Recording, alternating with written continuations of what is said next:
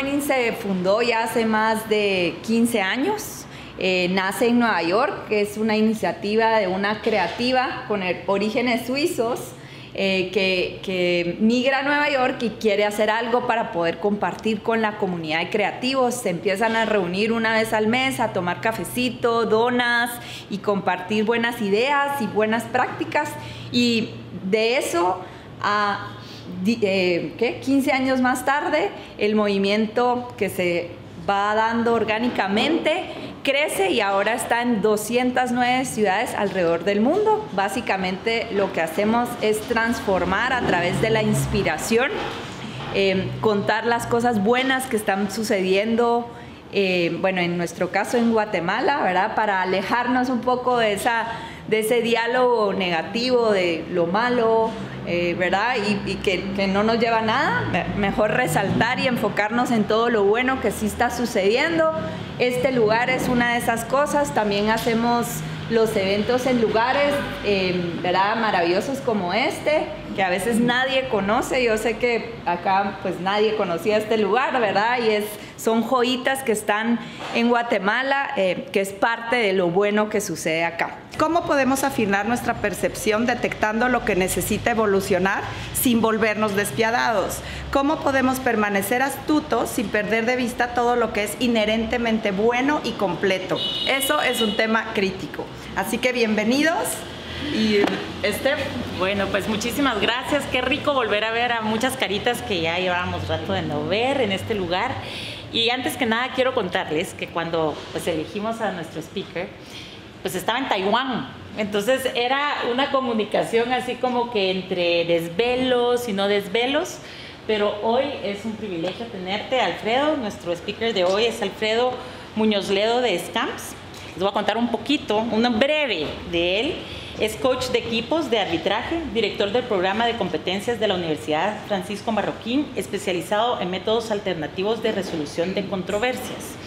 En su trayectoria ha visto el cómo la misma herramienta que se utiliza para resolver conflictos entre naciones o entre empresas es la misma que podemos utilizar, y esto es lo súper interesante, podemos utilizar para lograr nuestros objetivos, desde lograr negociar con nuestros padres, convencer al jefe sobre una idea o hasta para invitar a alguien a salir.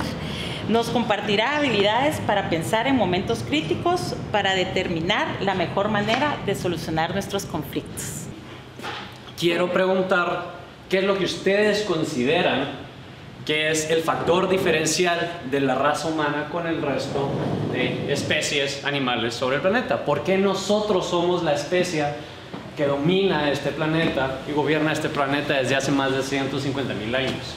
¿Qué es lo que nos diferencia? Más fuertes no somos.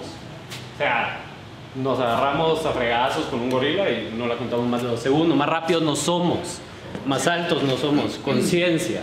Conciencia específicamente cómo, cómo nos ayuda, cómo eso nos da una herramienta versus el resto de especies. Somos los únicos que tenemos una conciencia. Y para efectos prácticos, esa conciencia, ¿para qué sirve? Un razonamiento. ¿Qué es un razonamiento?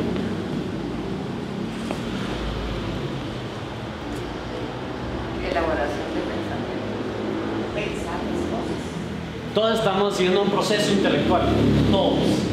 Ahora les pregunto, ¿de algo sirve pensar y solo pensar? No, no. Estos procesos intelectuales nos ayudaron a cazar mamuts. Sí, ¿cómo? ¿Puede una sola persona inteligente versus un mamut hacer algo? ¿O cazábamos en manada? Es un instinto. Ok, tenemos procesos intelectuales más desarrollados que el resto de especies. Existe una teoría sociológica que es la razón principal de el dominio de la raza humana sobre el resto de razas en realidad se lleva a cabo sí por el proceso mental, pero por nuestra capacidad de coordinación. La especie que mayor coordinación tiene aparte de la especie humana son los chimpancés. Los chimpancés pueden llegar a coordinar hasta 150 monitos dentro de sus grupos y sus familias. Si ustedes van al Congo, ustedes no se atraviesen nunca con un grupo chimpancés. Literalmente son muy violentos y están organizados. Hay seguridad, hay gente distribuyendo la comida. Los seres humanos tenemos una capacidad infinita de coordinación. Si hoy en día se publica un medio de comunicación, un artículo de prensa, una conferencia, esa conferencia, ese artículo de prensa tiene la capacidad suficiente para modificar el comportamiento de la, de la raza humana en su totalidad. Para lograr esta coordinación, ¿qué es fundamental? ¿Qué herramienta hemos desarrollado para lograr una coordinación? Socializar. Socializar. Socializar implica qué? Comunicación. Perfecto. Comunicación lo utilizamos como la herramienta más importante. Dentro de estas teorías de evolución sociológica, eh, tenemos la definición de alfa. Dentro de un grupo, una agrupación, leones, gorilas, pájaros, delfines, cualquier especie, siempre existe un alfa. Si nos vamos de la mano de la teoría de Darwin, es la fuerza del que más se adapta. Vamos a contraponer dos nombres que van a sonar un poco eh, chocantes. Hitler, Jesucristo, dos seres humanos alfa. La historia de la humanidad no se puede entender sin ninguno de estos dos nombres. Habilidad suprema de cada uno de los dos, comunicación. Fueron palabras principalmente lo que le dieron historia al resto de Occidente a través de estos dos personajes. Uno para bien y uno para terriblemente mal. Y así como ellos dos han existido líderes a través de sus habilidades de comunicación en nuestra historia. El ser humano alfa es el ser humano supremo social, es el ser con mayores habilidades de comunicación. Lo único que le importa a un abogado litigante es convencer a la persona que está enfrente. No se trata sobre uno. Difícilmente y duele no se trata sobre lo que es la verdad o lo que es justo. El abogado es un prestador de servicios, se le contrata para hacer un trabajo. Y este trabajo es lograr convencer a la persona que tienen enfrente. No tienen ninguna otra finalidad. Existen tres medios de comunicación. Facebook, Instagram, eso pasa.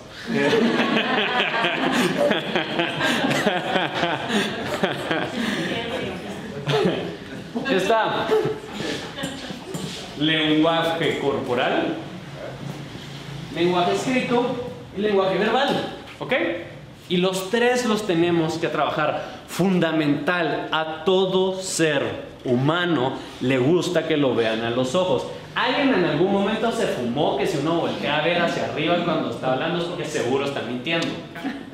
Este, entonces la gente, son de esas cosas que uno vio, ay, no sé, Sherlock Holmes o algo por estilo, y dijo, él siempre determinaba que la persona estaba mintiendo si volteaba a ver para arriba. Entonces toda la gente tiene este presupuesto eh, de que si la persona no lo ve los ojos le está mintiendo, o no es una persona confiable. Puede ser como no puede ser, porque esa es una persona tímida. El, el, el cerebro actúa a través de dos clases de procedimientos, deductivos e inductivos. Tiene que resumir información, nosotros no podemos saberlo todo, entonces todos tomamos, por supuesto, por sentado ciertos arquetipos. Tenemos que, damos cosas por sentado, si no, no podemos interactuar con las personas. El dar cosas por sentado es lo que nos permite pensar de la manera y con la velocidad con la que pensamos. Entonces, lo primero que se les enseña a los alumnos es ver a los ojos. Son de las cosas más fundamentales. Segundo, me lo crean, ¿no? Esto, tomar agua. La gente cuando está en público no sabe tomar agua. Den ustedes un speech en público, traten de tomar agua. Yo he visto gente, abogados profesionales que ocupan el agua, se atragantan a media audiencia. Por alguna razón, este, la gente no sabe tomar agua. Y tomar agua es un truco fenomenal cuando uno quiere ganar tiempo. Para tomar agua la gente siempre nos excusa, porque todos tomamos agua, entonces genera una clase de empatía en las otras personas. Cuando a uno le preguntan algo, uno toma agua. Aunque no me salga la respuesta, estoy ganando tiempo. Estoy tratando de interpretar cómo es que la persona va a reaccionar frente a mí. Entonces, es lo primero. Entonces, estos dos. Tercero, utilización de manos. La utilización de manos es fundamental. Pero los latinos nos encanta las telenovelas, nos encanta el uso exagerado de las manos por herencia hispana. Los españoles son idénticamente igual. Ahora bien, pregúntenme si uno está moviendo las manos de esta manera cuando uno está negociando tratando con asiáticos. uno le da de pensar que si uno mueve las manos así, le está hablando mal de todos sus antepasados para atrás. Entonces mejor uno mantiene sus manitas quietas. A los alemanes les parece una falta de disciplina la utilización de las manos. Entonces a nuestros alumnos les enseñamos a estarse en paz del Señor cuando están presentando en frente de alemanes. Hace un par de años yo tenía un alumno que era relativamente bien parecido, pero estaba cayendo un poco en, en desgracia consigo mismo, se estaba dejando el pelo largo, no se estaba rasurando, no estaba yendo al gimnasio y yo lo consideraba un desperdicio. Y le dije, antes de irnos te vas a meter al gimnasio, te vas a cortar el pelo y te vas a rasurar porque nos va a servir. ¿Quién te dice que hay una señora que sea árbitro que le parezca guapo y no nos ganemos? Por Dios que ganamos gracias a eso una vez. Estábamos sufriendo, sufriendo una audiencia. Eran tres mujeres. Por alguna razón las mujeres árbitros o las juezas son terribles con las mujeres abogadas. Terribles. Siempre buscan una forma de imponerse frente a la abogada más joven que está frente a ellas. La gente es clasista, nos guste o no la gente racista, nos guste o no. La gente sexista, nos guste o no. No hay que culpar al jugador, hay que culpar el juego, hay que saberlo jugar en todo caso. Con la fuerza, intención y fluidez con la que empiezan, tienen que seguir y tienen que concluir. Les ha pasado, lo han visto mil veces. Es como que, ah, la que hueva, cómo empezó a presentar y el ANA se subió la moto. Tienen que estar subidos a la moto desde un inicio. Desde un inicio tienen que estar convencidos de lo que están diciendo. Desde el hola, buenos días. Desde ahí la gente ya los está escuchando. Desde ahí la gente ya está poniendo atención y desde ahí tienen el chance de ganárselos. ¿Por qué le van a dar la oportunidad de correr un mayor riesgo de no convencer a las personas con las que están hablando? Segundo, cacofonía o repetición. Es un truco psicológico. Lo hacen las canciones, lo hace la mercadotecnia. Si ustedes repiten suficiente, la gente se lo compra. Por alguna razón, dirían los teóricos filósofos, el número 3 es el número de eh, el balance. Por eso es que hay tres personas en la religión católica, hay tres personas principales en el Monte Olimpo, hay tres personas en la mayoría de las religiones. Todo se centra a través del número 3. Por alguna razón funciona magníficamente. Cuando ustedes están hablando ¿Saben qué? Paquita del barrio, con su canción de la rata de dos patas. Utiliza la estrategia de los tres adjetivos. Cada vez que está hablando la rata de tres patas, porque no es rata, solo dos patas. Ahorita no me acuerdo.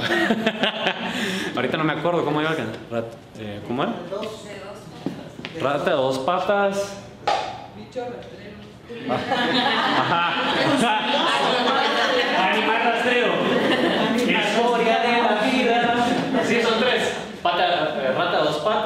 Animal rastrero, escoria de la vida. Utilice la misma estrategia de tres adjetivos en tres argumentos en tres, ¿ok? Es fundamental siempre tratarlo. Es un truco, pero funciona. Somos un organismo vivo que tiene la capacidad de destruir su propio planeta en cuestión de segundos. Es impresionante. Como también tenemos la capacidad a través de esa coordinación de hacer cosas buenas, cosas simples. La verdad es que esto es impresionante, la coordinación entre Sofos y la Munis y de Chafores tampoco me está pagando conexión. Eh, es un ejemplo de coordinación positiva. Un espacio así es la clase de lugares que necesita Guatemala. Si de algo carecemos es de cultura y capacidad de lectura. Si ustedes hacen esto en sus relaciones personales, con su pareja, con sus hermanos, con su familia, están a 15 días de ser tildados psicópatas. ¿Okay? Ustedes no pueden hacer, bueno, sí lo pueden hacer, todo es posible, todo es permitido, depende de qué es lo que ustedes consideren correcto o no. Pero si ustedes planean y condicionan psicológicamente a su pareja para responder A y B, carece de una de las cuestiones más fundamentales que tiene que estar presente en una genuina relación humana, que es honestidad. Estos métodos funcionan a la perfección cuando estamos hablando de trabajo. Y cuando estamos hablando de trabajo, todo el mundo debe hacer lo que debe de hacer dentro de los límites que uno considere éticos. Pero en relaciones personales, o sea, yo no podría eh, venir y condicionar a mi novia, por ejemplo, a que me responda A, B, C, D, O, F, G, porque si no, no va a ser genuino. Mintiendo, uno está fingiendo al 100% que es o que no es para obtener una respuesta. Las personas no son medios, son fines, me dijo mi novia eh, y Entonces en realidad sí es una cuestión a tomar cuidado, porque sí lo he visto muchas veces, la gente que no logra separar trabajo de relaciones personales y su vida se viene un poco abajo porque se convierten en máquinas calculadoras. Entonces a veces cometer errores es bueno cuando uno es honesto y solo está tratando de expresarse.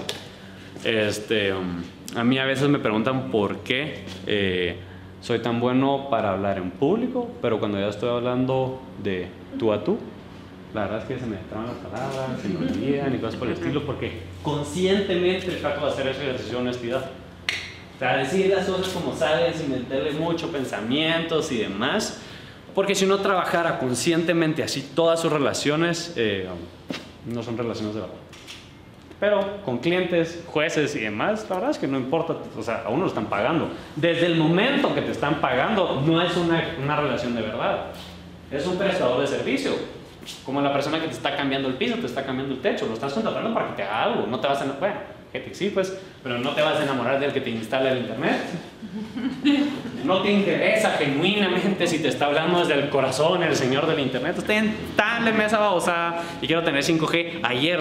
Lo que yo hago, el trabajo que se hace con los alumnos, eh, la Universidad Francisco Marroquín, la verdad es que nos ha brindado siempre el apoyo eh, presupuestaria y el capital humano para desarrollarnos y ha sido una habilidad determinante también en lo personal para mi vida. Es a lo que me dedico en lo profesional, es lo que me dedico académicamente y em, nos ayuda a todos eh, profesional y personalmente. Es la forma de lograr metas. Así que, bueno, that's it.